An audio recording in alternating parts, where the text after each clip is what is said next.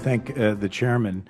Um, my district in upstate New York has actually a unique connection to Alaska. It was the home to William H. Seward, who resided in Auburn, New York.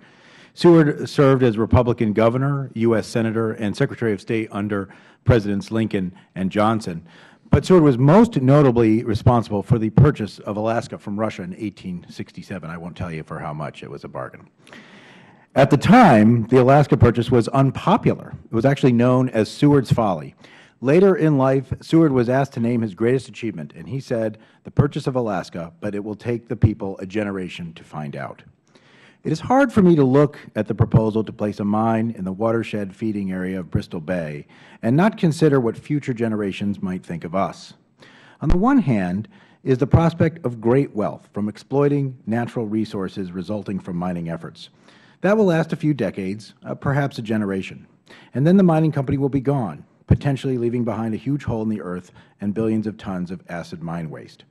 Even if the company can do what so far no mining company has ever done in a wet environment and dig a massive open pit mine that results in no leaks, no accidents, no pollution, who can guarantee that the massive amount of waste left behind in the tailings dam will not leach out or that the dam itself will not fail?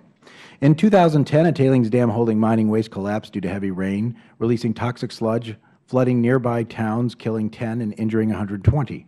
In 1998 in France, a tailing dam collapsed, releasing sulfur, zinc, copper, iron, and lead into nearby farmland. A study of the, incident estimated that about 5,000 jobs were lost in the dam's failure and aftermath. These are just a few examples of the potential failures that could occur in Bristol Bay. On the other hand, we have the returning wealth of salmon. They feed the earth in one of the most pristine locations in the world. They feed the people of the region, the last truly sustainable salmon-based culture left in the United States.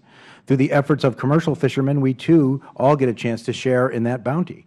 The salmon of Bristol Bay who spawn in the rivers there are a sustained resource that, if we do not destroy them, will be there for as long as we can see into the future. And although the area does compete with my beloved upstate New York for fishermen, it is a wonderful place to go fish. Bristol Bay's clean water economy supports one of Alaska's most natural and bountiful resources, the salmon, and will yield economic returns and generate revenue for far beyond the short-term economic impact of mining. Uh, and that will support jobs today, tomorrow, and in future generations, whereas mining and potentially its harmful environmental impacts will eliminate those future jobs supported by the fishing industry. If you hold these two prospects in the balance and weigh them in a scale uh, for what is best for future generations, the question is very simple and the answer very clear. Do we act for ourselves and then regret it after a generation, or do we embrace the sustained wealth and nature of nature that returns every year for our use as long as people live on the earth? Now, I do want to respect uh, the Chairman's process points, and they are well taken, and I do not dispute uh, his, uh, his uh, positive motives in this matter, but I do want to make just a few other points. I want to remind the members that EPA has begun their risk assessment in response to local pressure for the EPA to intervene. EPA was asked to take up the 404C process, which under the Clean Water Act gives EPA the power to protect water quality by establishing standards that can virtually veto development. EPA might be chided for taking on science-based watershed assessment rather than moving immediately to 404C, but I think the agency was trying to show everyone involved that they were willing to listen and study the issue thoroughly before acting. The draft assessment is solid science that demonstrates hard rock mining cannot coexist side by side with salmon without harm to the salmon, to the fishing and sportsman economy, and to the native communities.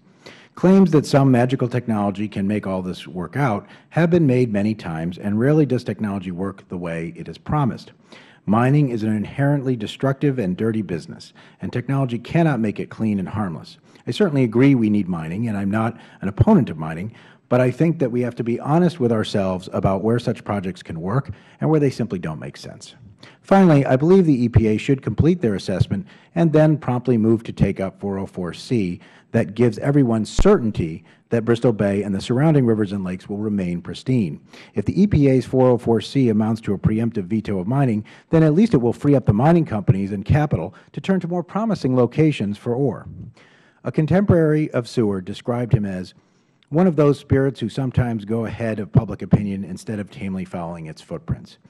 I hope members of this committee will be mindful of these words and of the example of William Seward as we explore the issues surrounding the development of the Pebble Mine. And I yield back the remaining three seconds of my time.